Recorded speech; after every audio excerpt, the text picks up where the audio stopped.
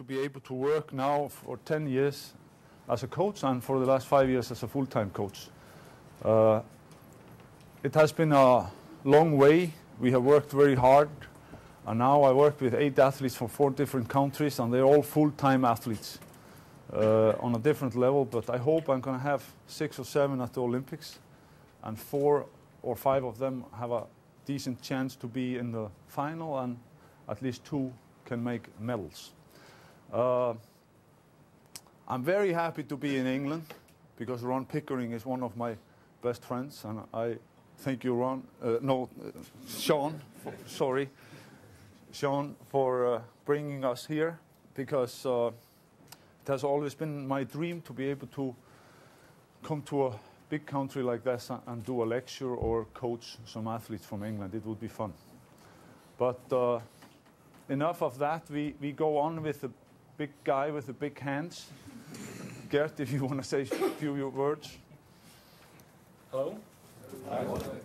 I'm also glad to be here. As Vesteinn told, we started on year 2000. Now we're working like seven years, and of course, start was very difficult. I was very ambitious. I wanted to throw far, very fast. Didn't really succeed. it. But like last three years, I've been succeeding, making medals. First medal in 2005 in World Championships, got silver, and also silver last year from European Championships. And finally, gold medal this year from Osaka. But I really have to say thank you for this man here because he's been coaching me and like giving me all these tips. So if I wouldn't maybe find him, I wouldn't be where, where I'm now. So, and now we'd like to share this knowledge what we have to you. Thank you. You can just have a seat. I'm going to show you uh, uh, one uh, slide here that makes me very happy because after seven years, we actually reached this. Bro, this is Gert Kanter of Estonia, 28-year-old. He's been chasing Alekna for years, European silver medalist. And he likes that one. Look at how much he exceeds the leading mark out to 226 feet 2 inches for Can. That was after seven, har- seven years of hard work, we got there. And uh, it made me get some tears in my eyes. and uh, the president in Estonia invited us uh, uh, to a big celebration. And uh, he said that he wanted the guy with the tears in his eyes. And that was, that was me. And uh, and uh, that was a big honor. You got a handout uh, over there that I'm to go through here on this lecture. In the middle of the lecture, we're to have a little break for two three minutes. And uh,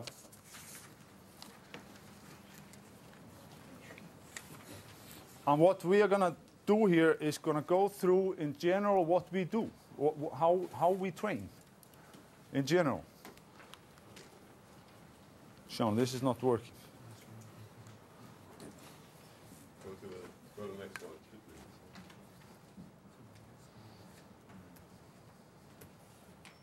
Film this, uh, I just go out. okay, Yeah, move it out now. Click right, click. Okay. Okay.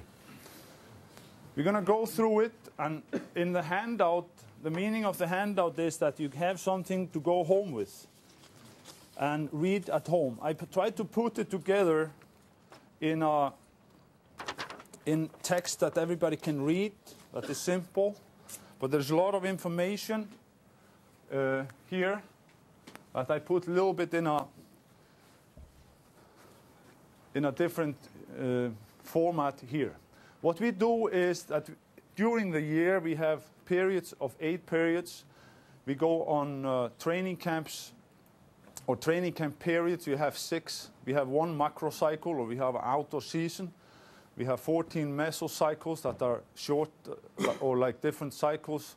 We train like in different uh, system. Li- Like we, we train sometimes weekly program. We train sometimes three one plan that we train three days and, and rest one day, three day, one one day rest.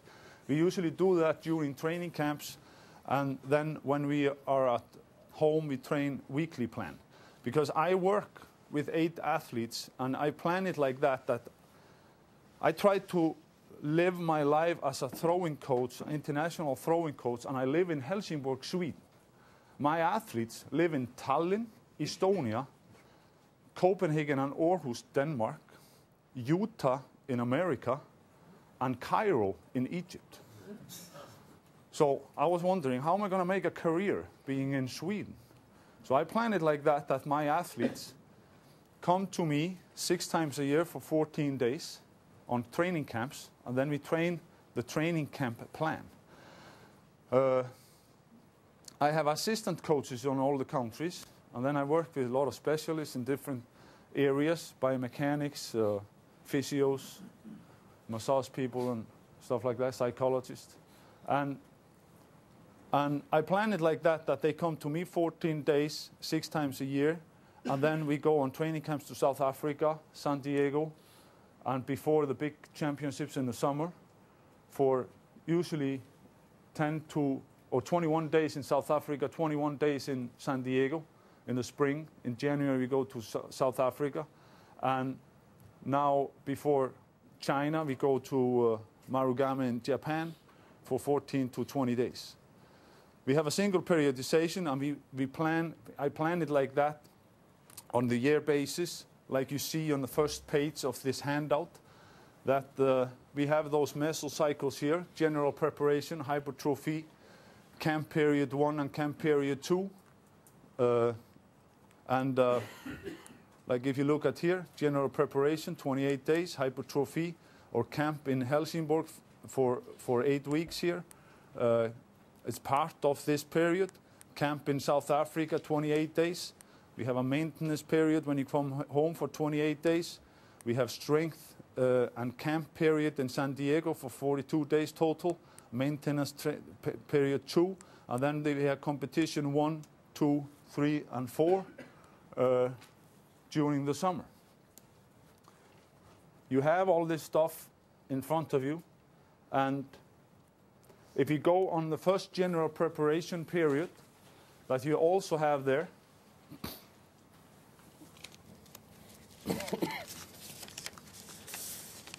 then it is actually very important.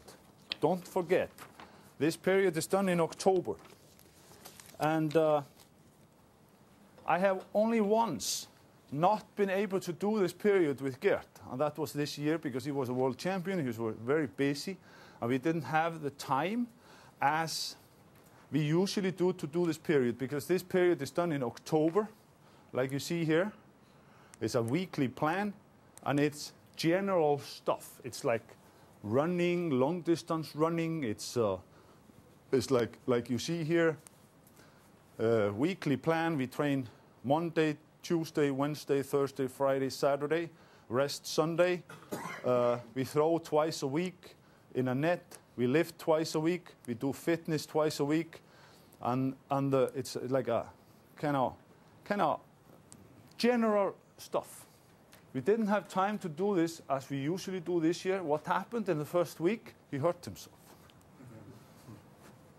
So, if I have a message to you when you start to train in October, usually we have like a little layoff in September in track and field or athletics. After you are done with the season, have a couple of weeks, up to four weeks of rest. Train three times a week during that rest period. Go and play tennis or whatever. But after you start, the first four weeks, do general preparation. Okay? And what is general preparation? It is uh, first um, uh, mesocycle, uh, microcycle is four weeks, lifting sessions only two, and it's circle training and very general stuff. circle training, three times 10 to 15 reps, very old fashioned way of doing things. Run long distance, uh, 30 to 45 minutes twice a week, and we throw stand, step on turn, South African on full turns, just to get going. Okay? This is very important. As you can see here, the basic stuff is throwing twice a week, 40 to 50 throws, 80 to 90%, lifting circle training three times 10 to 15 with one minute rest in between, long distance running, continuous running once a week with 75% pulse, in, interval running. And I actually got a phone call from Erki Nool once. You know Erki Nool, world champion in, uh, in decathlon. And he said, Gert is just running like hell. and, and, and, I, and he said, I really like that.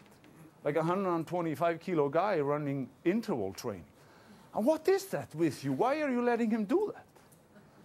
And I said, it has nothing to do with discus. But if he does 10 times 200 with two minutes in between, it's going to be very easy for him to run 5 times 50 later or 5 times 20 meters later. It's psychology. I did this some years ago, and it was actually pretty funny when we started to do this. I even went up to 300 meters. And a guy called me and asked, Why am I running so much? And I said, Don't worry about it, just do it. and, and he did. But then when I took it away, a couple of periods later, he called me and said, Why am I not running more? So we actually do this. Stretch, uh, we do a special way of, of stretching uh, during this uh, period as well as other periods. If we take the next period, because this, you can read this when you come home, all the information is, is on this sheet, and it's general preparation period done in October for four weeks, no Olympic lifting, no power lifting, long distance running twice a week, fitness twice a week with all kinds of gymnastics and uh, uh, medicine ball and stuff like that, and then throwing twice a week and circle training twice a week. Only one session a day. If you go to the next period, that is called in your handout hypertrophy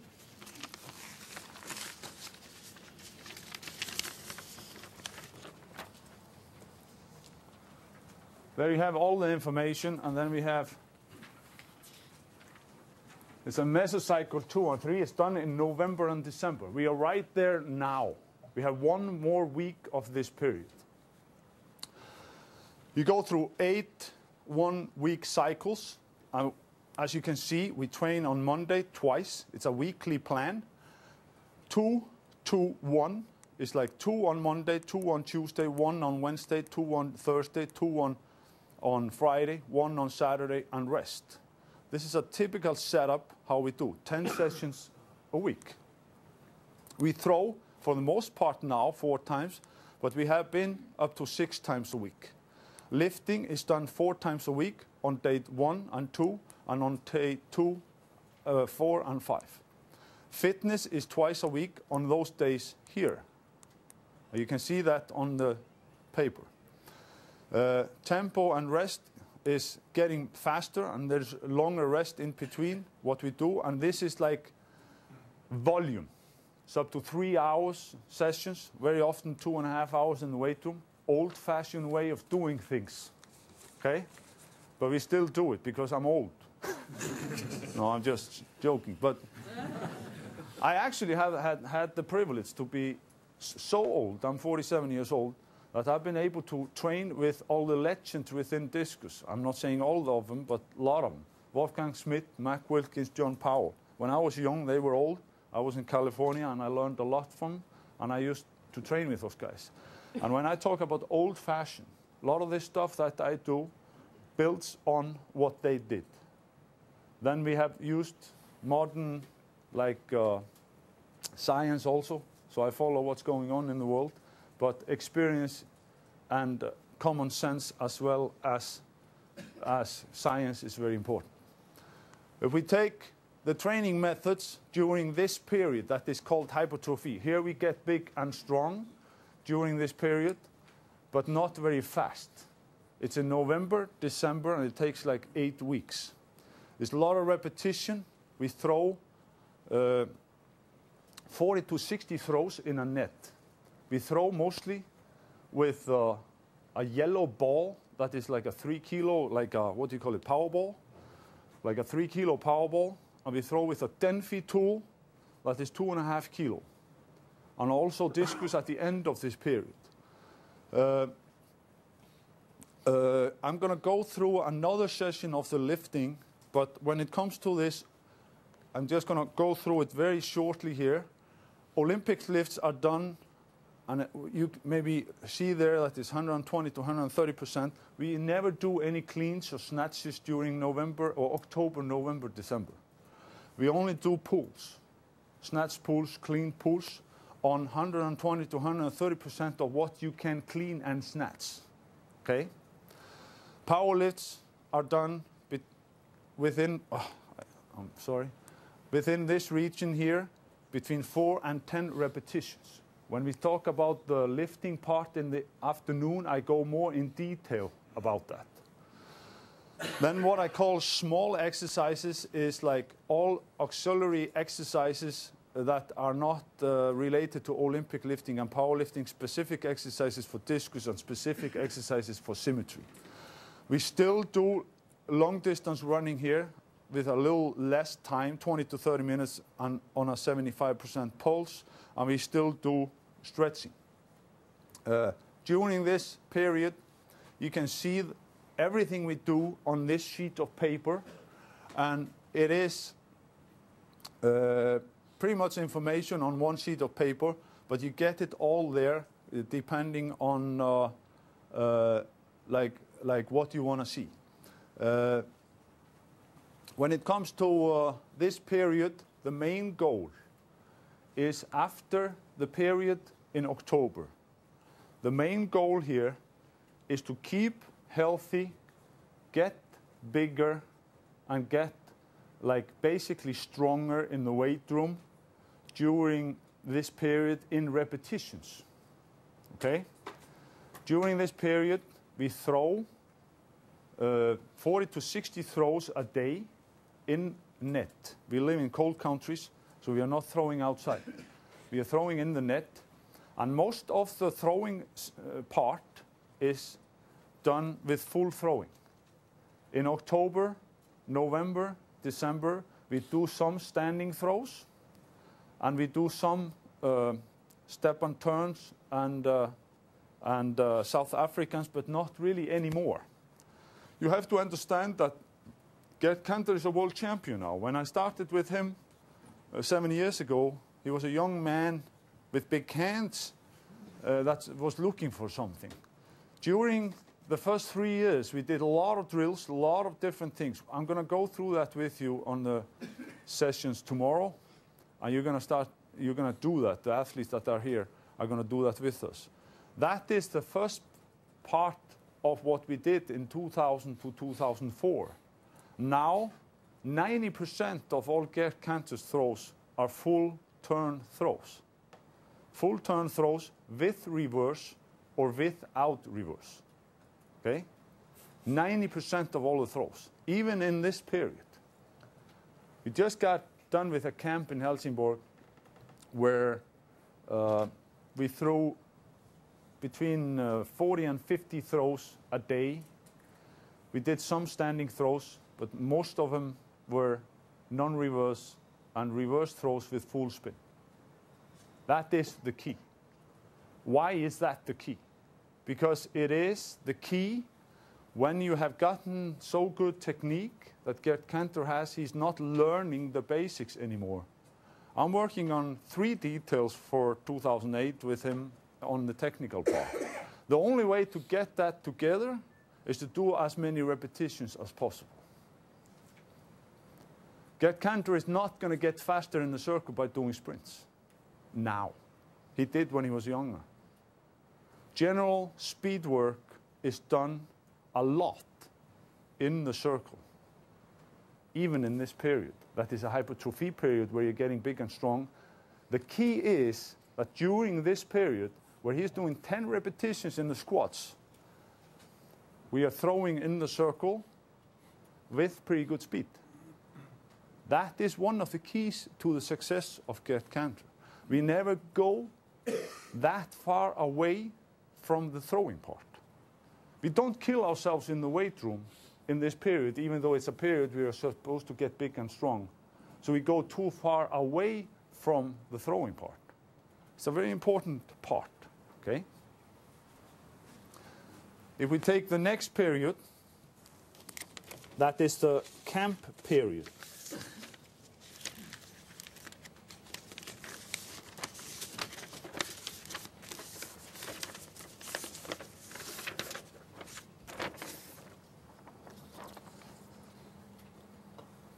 That is fun because we go, we, we are just done with our first camp, and that was uh, in Helsingborg now for 14 days. We are going on our second camp on 8th of January to South Africa.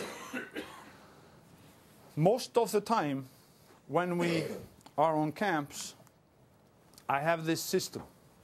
You have it in detail here. Read it when you come home.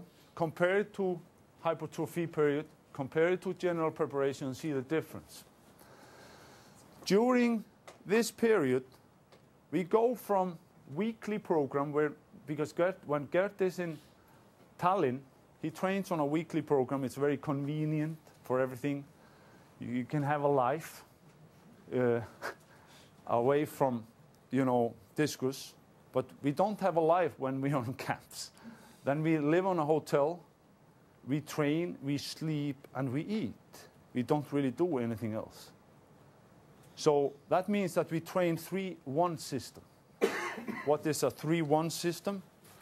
We train two times the first day, two times the second day, two times the third day, and then we rest. That means this can be Monday, Tuesday, Wednesday, Thursday. Then this comes again on Friday. So it's not like a weekly program. This is very effective. So we never train more than six sessions and then we rest. Throwing is three to four times per round. So that means we are throwing every day and a lot of times twice on this day here. We call that performance day. Because on camps, when we go to South Africa, we throw far already in January. For the last couple of years, Gert has thrown 70 meters in January. And people say, why? And I say, why not? uh, because he is a discus thrower. He's just like a piano player plays the piano eight hours a day. Gymnastic people do gymnastics eight hours a day. We throw discus all day. And what, why? Because you get good at what you do. Learn by doing. So we throw discus and we throw it far all year around. That doesn't mean that we are peaking in January. Absolutely not. Because we are training very hard during this period, and as you see, it's strength camp period. During this period here, as you can see on the next slide here where you take, take the training method, methods, we even go up in the Olympic lifts 200%. Usually not in, in this, this camp too much, much more in San Diego in the spring. But the throwing part, as you can see, comparing to hypertrophy period, is down. We are now outside. We are throwing 20 to 40 throws every day. On day one, we throw in the morning 20 throws. We go in the afternoon and we throw 6 to 10 throws all out. And we throw far. And it's fun. It's really fun in January. 30 degrees. And why do we do it on second session? Because my experience with, all, with throwing, my experience with uh, working with scientists from Denmark, Estonia, and different countries, and I have actually very good contact in Germany as well, is the performance day after rest is the second session. I go more into that later. Second session after rest is where we throw far. Second session after rest, after 72 hours away from the weight room. Second session after rest, after 72 hours in the weight room. Power lifts here are, as you can see, down to one to five reps, three to five sets.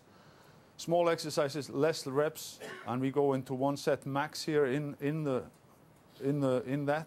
And even here, on the last day, we do long distance running on treadmill. For, for that is the last session before we go into the rest on uh, this day here. Okay?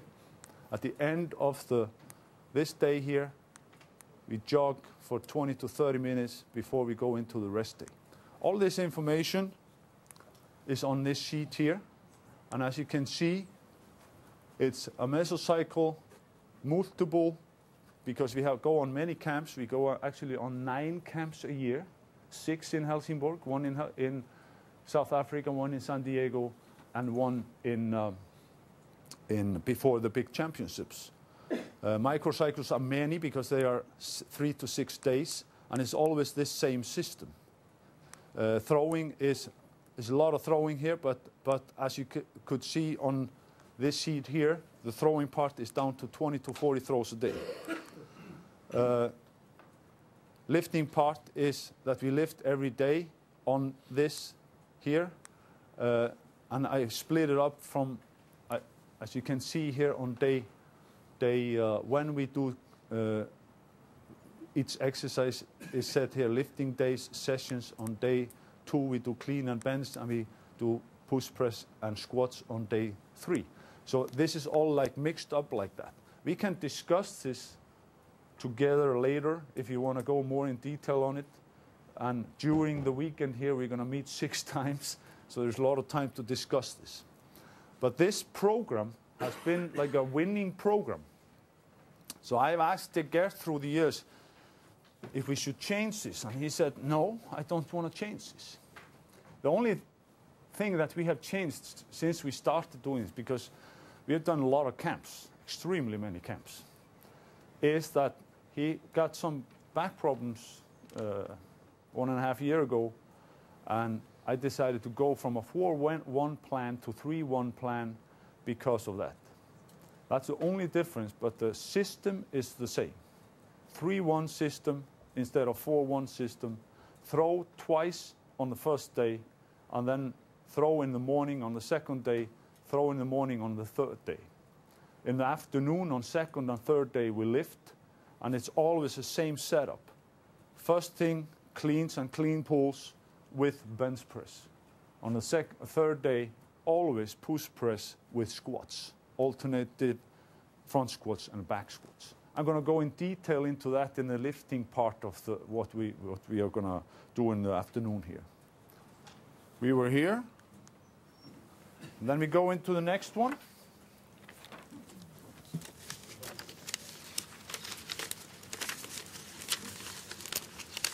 And that's one of the keys to the success, I have to say, if, it, if I take like, why has it been going well? It's because I had a guy from Iceland that I coached before Gert. I killed that guy. Not in that way that I shoot him. I'm going to answer your question later. Uh, I used to train very much myself in the 80s, a lot of volume. And if you coaches want to realize something, don't coach people like you trained yourself. Because you are specific. Every individual is specific. What I've learned, and I've been very successful with this, probably because I'm working with people from different countries. Now I have extremely good people. I have Gert, I have Omar El Ghazaly, I have Christina Scherwin in Javelin from Denmark, and, and I've had the privilege to work with Joachim Olsen from Denmark that has eight medals in the big championships. I've learned that people come from different schools, they are different talents, mentally, physically, technically. And I've actually noticed that I big, did a big mistake with the Icelandic guy. He did pretty well until he hurt himself. But because of I had the Icelandic guy and I tried to let him train like I used to do, I didn't succeed the whole way with him. Gert was the second guy I coached, and I've succeeded, or we have succeeded together with all the people that work with us. So he is the best guy now with Alekna, but at least he won Alekna in the World Championships. What is the success story? It is that I've taken, try, tried to look at him and see how he works, like physically, mentally, technically, and stuff. I try to take my experience with science and with uh, the common sense of trying to put together a system that works for this guy and only for him. There is nobody else that is doing the same thing. I'm generalizing here a little bit about how I work in general. This is not only what we are doing with Gert that I'm talking about here, but in general, the idea is work individually with every individual, make their own system, system for every individual. I have four very, very, very good athletes. They have all different systems.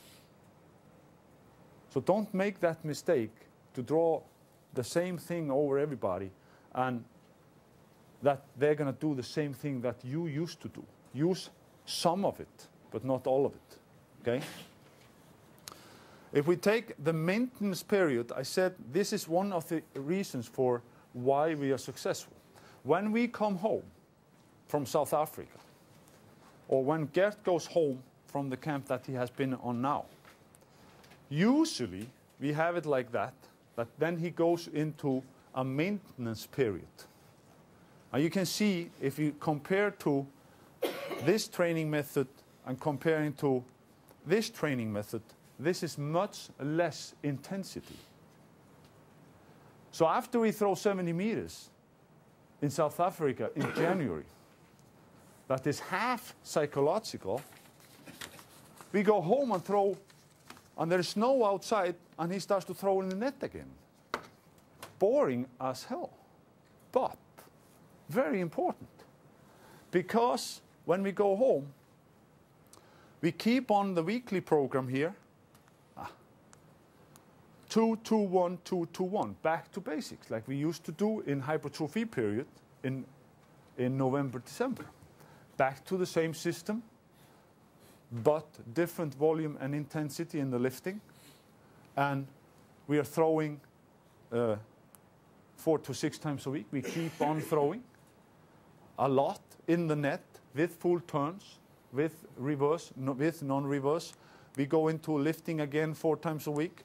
We do fitness twice a week on those days, um, Wednesdays and Saturdays, as usually.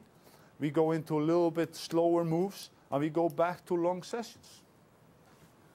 And how long do we do this? Eight times one week. That is eight weeks. Mesocycle 5 to 8 in February and March, and in May, and until June sometimes. But usually that period is shorter because we are going a little bit later to San Diego that we used to. this is very important. So, what do we do in South Africa? We go and we go up in intensity in the weight room, and we go up in intensity in throwing. We come home and we work between six and eight, eight weeks and do a maintenance program where there is nothing to do except just work. just work and work and work and work with lower intensity in the weight room and lower intensity throwing. That means that here is supposed to be 60. We throw 40 to 60 throws again, so the volume of throwing goes up, the intensity goes down, the Olympic lifts uh, intensity goes down and the volume goes up. Power lifts is done in the very old-fashioned way, 5 by 5, 75 to 85%. Remember, we were up to 100% here before. Small exercises, we get much more volume. And we go and we keep on doing the long distance running uh, on the fitness days, on Wednesdays and Saturdays. This period is very important. You have that period here in the maintenance program, and with all the details, and you can see here that it's mesocycle 5 to 8, it's microcycle 8 microcycles, it's lifting day sessions like we said here, and then all the exercises are here and all the training methods are here. And if we go and look at when we are doing this, comparing to this period. Here we train for three to four weeks. Usually we go to three to four weeks on the training camps. Then the intensity is very high. At the end of this period, they are dead. They've been throwing very hard. They've been throwing outside, come out of Tallinn where it's snow in January to South Africa. We throw very hard and we lift, as you can see, up to 100%, very few reps. Here we go up and do maybe max threes in the, in the cleans or, or bends or squats or whatever. A lot of threes. and then we come home and we work here fives, okay? On lower percent, much lower percent. This period is just as important to, eh, to be able to not overtrain when we come home. Because a lot of times big throwers want to be as big as possible and strong as possible as soon as possible. That's the old fashioned way of doing it. We actually have a philosophy that for every kilo that my athletes go up, they are supposed to throw farther. For every kilo they go up in the weight room, they are supposed to throw farther. Otherwise, I'm going to be mad. so that means that the philosophy is that the weightlifting and the throwing part is not separate things. We don't go into the weight room to be stronger, to be stronger. We go into the weight room to be stronger, to throw further. That's a very different thing. Gert Kanter is an expert on this. He's really my best athlete when it comes to that. That we sit down in September and I ask Gert, how, how much stronger do you believe you need to be? And you know what the answer was this year? I don't think I need to be stronger. And I said, well, that's a good, good thing because I don't think you need to be stronger either. So we agreed on that. Then if you go up five or 10 kilos in one event, that's okay, but it's not the main goal. So how is Gert going to throw further then? He has thrown 73 meters. How is he going to throw 75? How is he going to be an Olympic champion or break the world record? What are we going to do? Well, we have to think about it that the success of throwing the discus has not only to do with being big and strong, it's also, also a lot to do with the technical work, and we do a, a, lot of technical work. And then it's actually not only the physical and technical, it's actually social life and it's actually mental. And if Gert is going to win the Olympic Games, it's going to be because he's going to be stronger mentally. And he has gotten to be much stronger mentally for the last few years, and we've been working on that.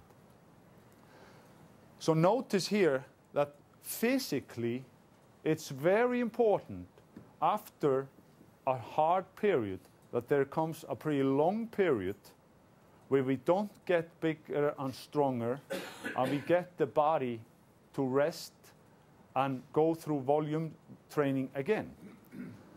That is because if we go up, and usually when my athletes come to me, they are very motivated and they are very eager to get stronger and bigger and, and more explosive and everything. And usually we succeed with that during the camps.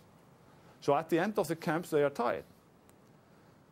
Then, because of some reason, through the years, I've been smart enough to let them have a period when they come home that is easier so they can recover. That prevents injuries and that actually makes the big bodies that have gotten stronger during the camps, they get a time to adjust to the technical work that we have been doing, and adjust to the lifting work that he have been, have been doing. Because usually the injuries comes because of too hard work or too wrong, like wrong training. It's usually the, the reason for you hurt yourself. Okay?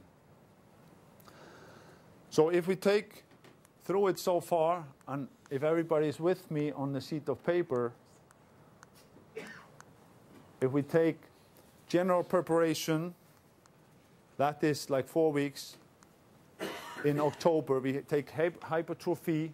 That is the first hard period with a lot of repetition in the weight room, a lot of volume throwing in the net in November, December. And then it's the first camp period here for three to four weeks in January, where we raise the intensity up to 95 to 100% of max in the weight room and we throw hard. And then we go on and we come home to the snow again and we have six to eight weeks of maintenance work. And we are here in March. Okay? Then we go again on a training camp here to this period. Okay? San Diego. And what do we do in San Diego? In San Diego is the only time during the year where we max out in lifting. We don't do it as much in South Africa, even though I, I say during this period here it's up to 100%, like here. We do it mostly in San Diego. And the theory behind that, I have until 11.30, right? The theory behind to, to in May, in middle of May, we do our maxes. And remember this, in the weight room. We throw 70 meters again during that period. So during this period in South Africa, and San Diego, it's very similar camps. But the concentration in San Diego in April and May compared to January is that after that period, we never, remember, never, we never go up to 100% in the weight room after middle of May. Never. And when do we peak? Late August. So, three months before June, July, August. Never more than 92.5% in the weight room. Why? Because it takes the body a very long time. If I would be a powerlifting coach or an Olympic weightlifting coach, it would maybe be different. But we are, we are talking about here about an athlete that is 125 to 128 kilos. He gets a little bit stronger during the year. He gets 10,000 throws in during the year, totally, 10 to 12,000 throws a year, according to this. And it's supposed to happen in 0.73 seconds, like that. That's what it takes biomechanically for Gert Kanter to throw the discus, like from one point to another, where the biomechanic measures it.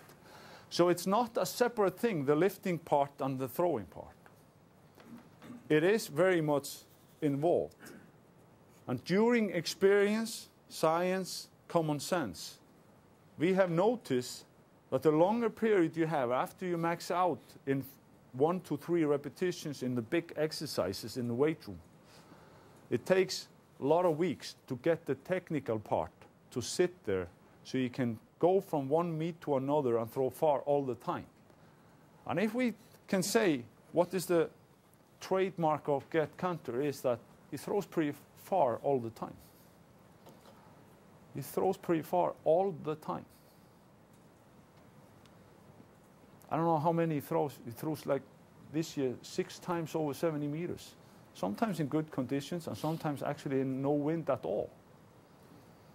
That means that this guy is in unbelievable shape pretty much from January until the end of the year, end of the season. we never go too far away from the, the important thing.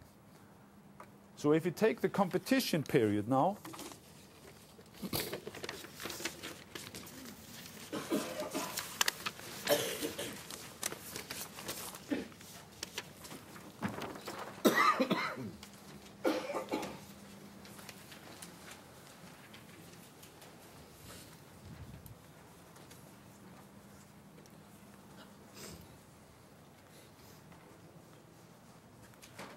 competition period, June to September. A lot of microcycles because we work 3 1 3 1. How do I do? I take the competition schedule. I happen to be his manager also, so I take, I'm in charge of the meets. Usually in April and May, the meet schedule is put up. I, I put the schedule together so we do 3 1 system. And sometimes, if it's very few days in between, in, in between meets, we can't do it. But the general idea is to do the camp system during the summer. So we work 3 1 3 1 3 1 during the summer in between meets, and maybe sometimes 2 1. And the peaking is always the same. So the process before each meet is always the same. That is periodization because the body and the nervous system uh, learns that after certain physical activity you get rest. When the body rests, it reacts in a certain way, and that way I know how this guy works. I didn't know in the beginning, but I happened to get pretty lucky with him as well as I've done with some of my other athletes, but then I've also done some stupid thing with, with something, some people. But it has worked for Gert. So notice this. We always, if we have a meet on a Saturday, let's say he's going to Madrid to throw. We rest on a Thursday. The last lifting session is- on a Wednesday and throwing session. So let's say that this is the last session. Here we throw in the morning and we lift in the evening. Here's our rest, this is Thursday. This is a Wednesday, this is a Thursday. On a Friday, we do something what we call wake up call or fitness. And what is that? Gert goes to Madrid maybe on that day, on Friday. The competition in Spain is always late in the evening. So let's say that the meet is at 8 o'clock in the evening on a Saturday. On the Friday, if he flies in the morning out, we do 10 throws on a Friday night, 90% of max. 10 throws. That is a, what we call a, call a wake up call or fitness before the meet. This is always done 24 hours within the meet. Okay? 24 hours within the meet. Science says, and all the people that I work with, don't rest more than 48 hours from the technical part of the event. Physical part, we rest 72 hours. So the 72 hours is the minimum we rest from squats and Olympic lifting. 72 hours before. So we do that on a Wednesday. On a Thursday, we totally rest. The body is a little bit rusty after that. We fly out and we take a wake up call on Friday night with 10 throws on 90%, and we compete 24 hours later. Okay? That's the system every single time for the last seven years. And it works. It's pretty funny. Uh, throwing is the same here, like we talked about earlier. So I put this together with the with the system uh, of uh, meets, and fitness is included in everything here. And the sessions are very short, uh, one to one and a half hours, and the uh, and the pairing of the of the exercises is the same as usually on the camp period. So this period is very similar to the camp period. Training methods. Uh, throwing is then 10 to 30 throws. And that means that on day one, we throw sometimes twice, sometimes once, depending on how the meet schedule is. And we throw far then on day one, and uh, or sometimes on day two, or always on the second session. If we have like uh, uh, throwing only once a day, we throw on second day. So it's always on the second session after a meet. Olympic lifting here is mostly one to three reps a lot of times three to five sets, and usually within this range here, 82.5 to 92.5% during the whole summer. Power lifts, three to five reps, three to five uh, sets, sets and reps, 80 to 90%. So you see here, comparing to the camp period, where we max out a lot of times in San Diego in April or May, and sometimes in South Africa, we are actually working through the whole summer sub-maximal. What does that mean? It's called muscle lab training, if you know what it is. We are always working within the range that we are putting speed on the bar and speed on the movements. During the, the summer, we also throw discus most of the time, a little bit Denfi tool that is 2.5 kilo hammer, this long, that has been one of the secrets of Gert Kanter's success. Denfi tool, write it down, get it. It's very important. We are one of the few people in the world that use it very much. We use it during the whole year, and that is really the part what I call uh, specific strength training part is the throwing of the Denfi tool once to twice a week all year around, even during the season. Uh, small exercises are very few here during this period, and uh, we are mostly doing cleans, clean pulls, uh, squats, front squats, push presses, and stuff like that that I'm going to talk about in my session later. You have maybe noticed here that if we take like the what we are doing here, we are doing lifting, we are doing running, we are doing long distance running, and during this period you can see there is no long distance running. But where is the jumping? Where's the jumping part? Have you seen any jumping? We don't do jumping. Wow. Why don't we do jumping? Because I did jumping all my, all, all my career.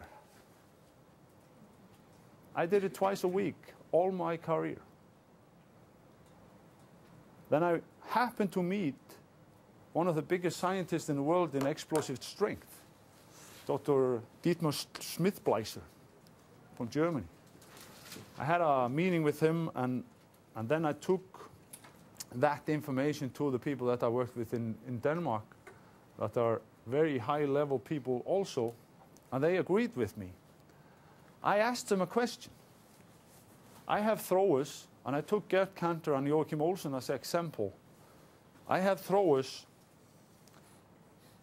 and these are their training programs. And uh, what, do, what do you think? And then they ask me, why are you letting them jump? And I say, because I think plyometric jumping is really good for throwing. And then they ask me, where have you seen that? And I just, well, it just happened to be that I did it my, the whole my, of my life, and I think it's really good. And then I say, then they ask me, why don't you just take it out? Because you get everything you need from, uh, from lifting and throwing, and if you just keep them healthy, because you don't have place for it in the program. So I just happened to try it with Gert in 2003 and 2004. And he totally exploded in, in the throwing part, and we didn't have any injuries jumping. I'm not saying it's wrong to do jumping, because plyometric strength is really good. And I do it with some of my athletes, but very little, actually. But there is a difference between youth training and elite training. I did all this stuff with Gert earlier, but what we are doing now, we are spending all our time on throwing and lifting. And then we are spending a lot of time on preparation for warming up before we throw hard and stretching and doing functional flexibility and stabilization in relation to that. So we spend a lot of time getting prepared for the most important thing that is to throw 10 to 12,000 throws a year and gradually get stronger during the years, but not so much that you uh, get too strong to throw far. the biggest problem in throwing, as well as the biggest problem in marathon running, is that the marathon runner they run too much and get stretch fractures. And we lift too much and we forget how to throw. That is really the message that I can give you to you. Gert Kanter is actually not very strong in the weight room if you compare him to a lot of throwers in the past. He's thrown 73, 38 meters. He's thrown six meets this year over 70 meters and he's a world champion. I'm going to tell you in the afternoon how strong he is in the weight room. But he's very fast in the circle, he's very dynamic, and he has actually a pretty good technique that is even, even going to be better in 2008. I hope. I got one question here. Uh, if we do 90% of the throws now, don't take me wrong on the jumping part, by the way. There's nothing wrong with jumping, but for the last four years we have not been using it because we don't have space for it in the program. And the, the experts told me that these guys are too heavy to jump. They're going to kill themselves in the back, knees, and stuff. So I'm putting a lot of time into regulating the volume and intensity in the throwing part in the periods, as you can see, to be able to hold those guys together and throw far. Okay?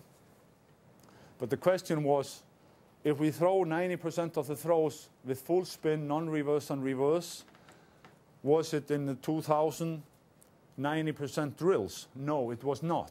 It was maybe 40%. Never get away from what's important. A discus thrower needs to throw 10,000 throws a year. Where did that come from? John Powell. John Powell used to be my coach. So I actually took that from him. Throw 10,000 throws a year. How many throws is that a day?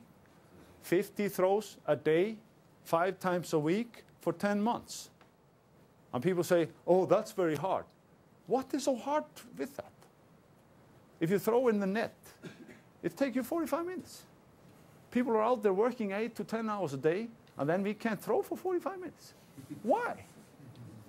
And even though if you're going to school, why can't you throw 45 minutes in the morning and 45 thro throws in the afternoon? Why? Why? why? I, I don't understand. When I was throwing myself, I was throwing in California with all those elections, and we threw 11 times a week, up to like 15 to 20,000 throws a year. I'm not saying that you need to do that because we are actually smarter today. We are we're throwing less and we are training less, but we are training more smart. And what I use in my theories is science, what's going on in modern way of lifting and throwing and this kind of stuff. I try to keep up with that. I use my experience with training with Wolfgang Schmidt, Mac Wilkins, John Powell, Art Burns, Knut Hjeltnes. I've actually kept very good contact with those guys through the years and some other guys that are my aides that I used to train with. And then I, I use common sense. And common sense is social life and psychology. We actually have fun. We are healthy. We, are, we try to have, like, be good representatives for the sport. You know? Gert Kanter is a superstar in his country. I've never written so many autographs myself as when I came there now, a couple of weeks ago. It was just unbelievable.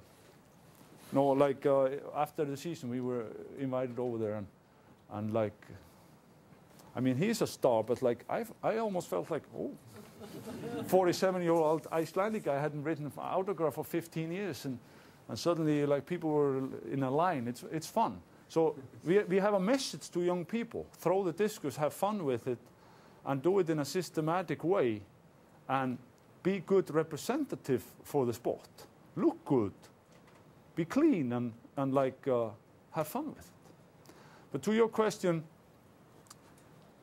throw and throw and throw and throw, and gradually get better in the lifting. I'm going to go through the early part of Gert Kanter's training when he, in the technical part today where we no, tomorrow, where we do a lot of drills.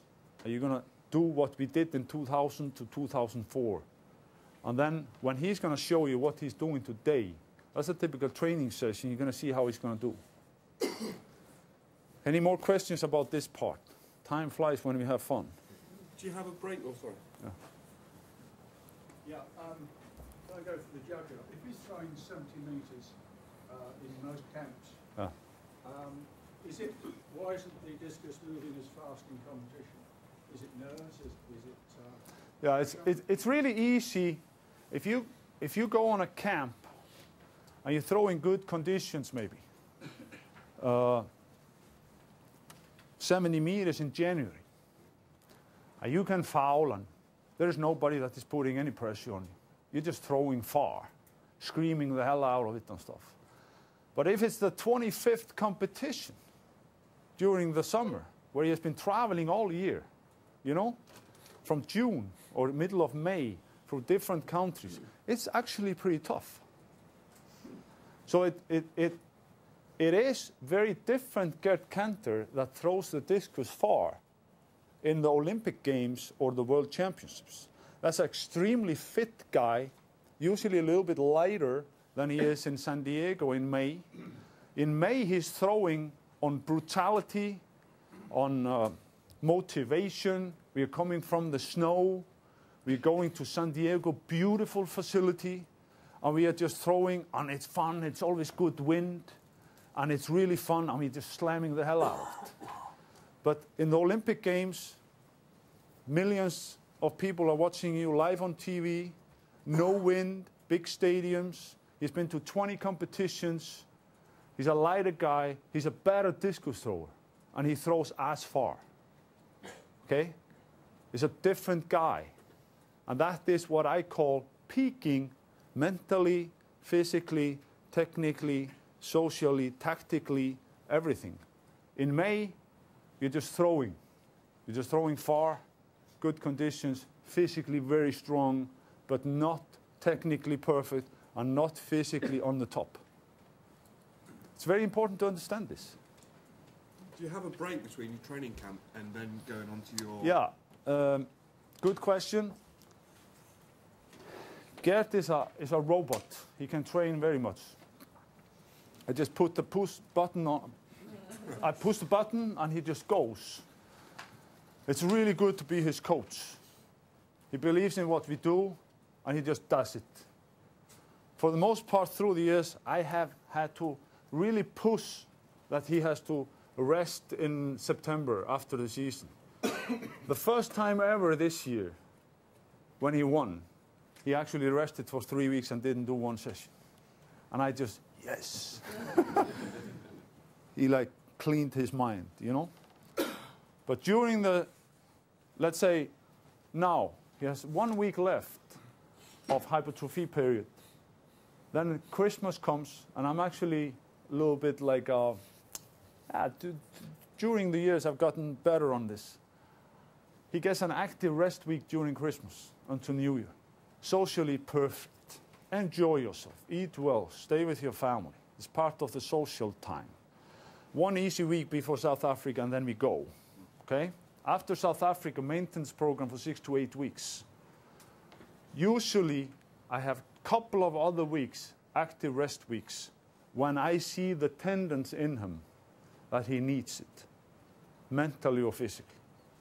So usually two to three weeks during the whole year, we have a rest week. And our rest week is an active rest week. Okay? Uh, during your wake-up call, Yeah. what sort of degree of warm-up does he have? He warms up like usually. We, we do a lot of warm up, and he's going to show you when we train how the warm up is. And it's actually like a 40 minute thing. It takes 40 minutes to warm up. He has his own physio that is usually with him. He's not here today, but he does his warm up with them. All kinds of exercises, coordination, um, physio, stabilization. It Takes 40 minutes.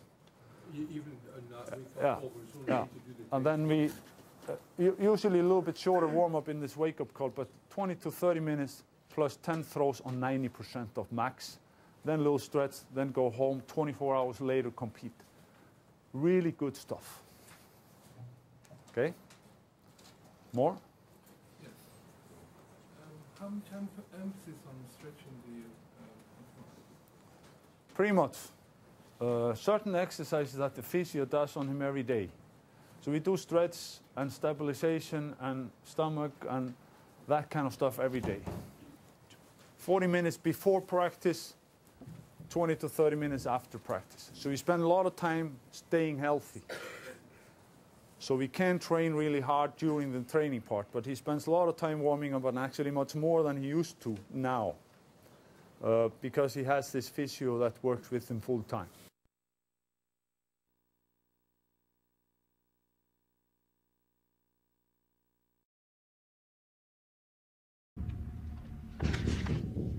I'll be back.